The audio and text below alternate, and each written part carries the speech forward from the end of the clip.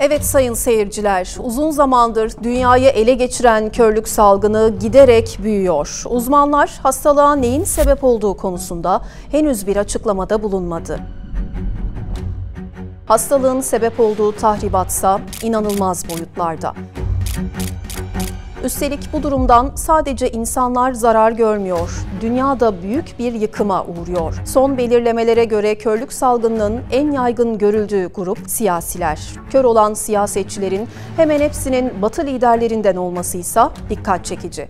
Zulme karşı kör olan liderler yüzünden 7 Ekim'den bu yana Filistin'de binlerce çocuk İsrail tarafından katledildi. Gazze'de 3 haftada öldürülen çocuk sayısı dünyada son 4 yıldaki çatışmalarda öldürülen insanların sayısını aştı. Gazze şeridine toplam 18 bin ton bomba atıldı. Bunun 2. Dünya Savaşı'nda Amerika'nın Hiroşima'ya attığı atom bombasından bir buçuk kat daha yıkıcı olduğu tespit edildi.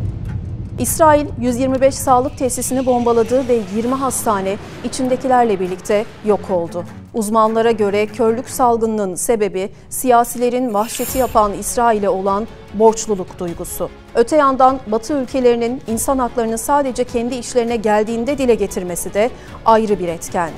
Bu kasti bir körlük olabilir mi sorusunun cevabını şüphesiz hepimiz biliyoruz. Zaten Batı'nın soykırım dosyasına baktığımızda bu durum açıkça ortaya çıkıyor.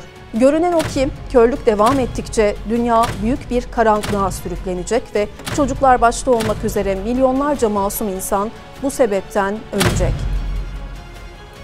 Salgın maalesef hala devam ediyor. Görmek istemediklerine kör olan Batı, dünyayı büyük bir karanlığa sürüklüyor. Bu karanlığın bizlere de bulaşmaması içinse yapacak tek şey var gibi görünüyor. O da zulme sessiz kalmamak.